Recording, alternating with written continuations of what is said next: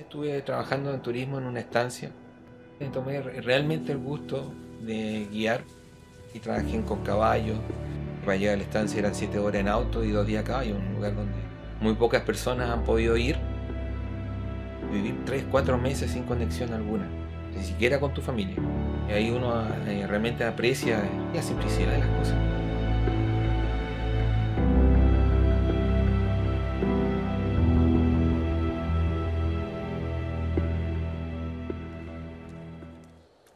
El invierno eh, yo lo veo como fue en su inicio del parque en verano, hace como 20, 30 años, donde claro, había poca gente, eh, la persona sí o sí se desconecta.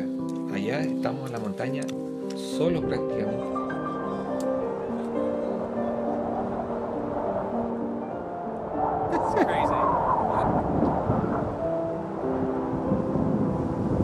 Puede ser días bonitos como puede ser días de frío o de caminar sobre más de 30 centímetros de nieve con crampones y, y pasar frío, cansancio, pero disfrutar.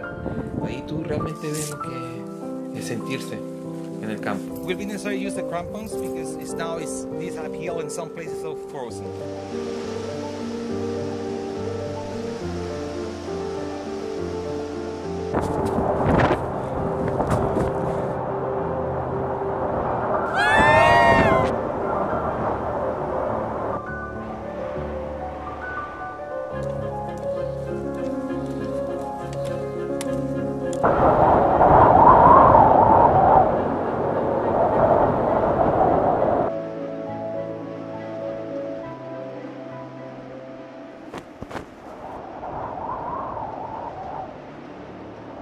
Yo me acuerdo cuando chico, cuando iba al colegio, salir de la ducha y llegar al colegio con el pelo congelado. Pero nunca me acuerdo que yo haya pasado frío, que haya pasado hambre, porque mi mamá se preocupaba de que nosotros no sintiéramos eso. Pero era parte de que no tengamos luz a veces, las cañerías estén congeladas, camino al colegio eh, patinemos porque no se podía caminar. Y eso era parte de estar en Patagonia.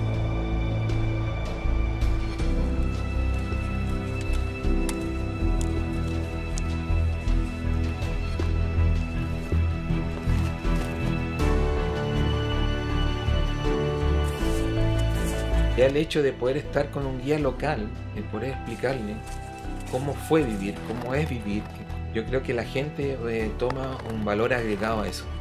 Le toma el, peso que puede ser estar en la región de Magallanes con un local donde le explique realmente lo que fue vivir lo que es vivir en Patagonia.